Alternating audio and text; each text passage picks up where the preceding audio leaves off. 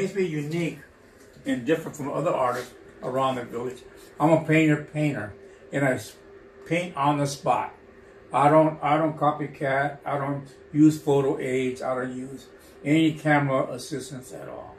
I uh, go to the spots and I paint. Uh, sometimes it comes out and sometimes it doesn't. I don't go to YouTube and correct the drawing and and and jazz it all up. I paint what I see and what I feel. I'm um, more of an inspirational painter than a knowledgeable painting painter. Some people are full of knowledge but no creative ability at all.